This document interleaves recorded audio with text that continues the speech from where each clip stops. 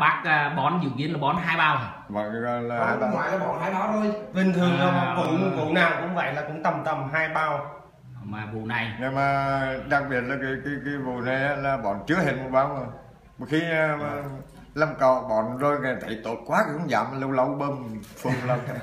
À, thế là là là là là, là, là nếu mà kỹ thuật á, mà áp dụng là đúng kỹ thuật luôn. Áp dụng dùng phun bao lần phun ba lần Phun ba lần. giảm tỷ lệ phân giảm xuống là trên ờ, người ta là, là, là đang khuyến cáo cho mình là khoảng 50 phần trăm. Thì mình đang giảm hơn 50 phần trăm chứ không phải là 50 phần trăm. Thì, thì cái cái cái cái cái, cái sâu bệnh sao bác? Cái ra lúc chân là coi như không có bơm thuộc sâu thuộc đuôi gì hết Ờ, À. từ này phun cái cái phần AB này là à, không là, là, là, là, để tự, mình nó nó đỡ đi bệnh. À nó nó không nhưng mà tôi cũng hay à, để ý coi à, chân dựa đó trong góc đồ đúng không? Không có à. Không phát hiện cái cái cái ờ, về cái như là bác thấy mà mà cái cái cái, cái bụi á cái gốc cái gốc rạ hồi xưa của bác là một hạt như vậy thì ờ, nó ra là được bao nhiêu nhiêu gốc mà trí bác đang dùng cái này nó có gọi. nhánh nhiều hơn không? Là là là nó đẻ nhiều hơn á là vì à, thấy nó khít hết mà. Ừ. như, như một cái một sao như vậy thì bác à, mấy năm trước á như giống như hai bên á, cái cái cái cái bên trong á cái cái bên bên mương thủy lợi đó. Dạ. thì thấy nó có đồ thưa. Hở. Nhưng mà, mà, mà một xào như vậy thì hai xào đó thì bác đang dùng là là bao nhiêu ký giống trên một xào hai xào bữa hôm trước á là mua 15 kg một sao tại vì gieo mà cậy mà mà cuối cùng là không cậy hết. Khoảng khoảng 12 kg đó 12 kg mà như năm nay người bác dùng cái này thì có khả năng bác có phải giảm cái giống xuống không? Với cái mức độ đẻ nhánh như vậy thì chắc không? chắn là, là mua mua tới là phải phải nếu mà bón phong này thì chắc chắn là phải phải cậy nhỏ bùi lại này Dạ. nhỏ góc này thưa ra một chút. Giảm cái số lượng giống mình là mình Ừ, thì, giảm thì, số thì lượng. như bác thấy đó thì bây giờ năng suất năm nay chắc được bao nhiêu nếu bác nói lại. Cái này thì chắc chắn là trên tận rồi đó.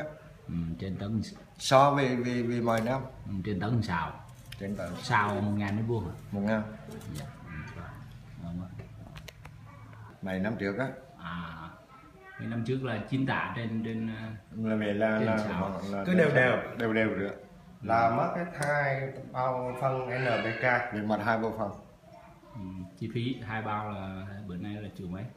Một bao. Hình như triệu một trên bảy thì năm nay mình ờ, sơ bộ là mình được tiết kiệm về phân là mình được ờ, tiết kiệm là được năm trăm ngàn. năm trăm ngàn. Năm trăm ngàn đó. ừ, với tiền cái tiền phun thuốc bảo vệ thực vật thì mấy năm trước cái cỏ không đồ tôi sao? à, nhà tôi là còn cái là mấy năm trước á, thì thỉnh thoảng có đôi năm có bị sâu bệnh.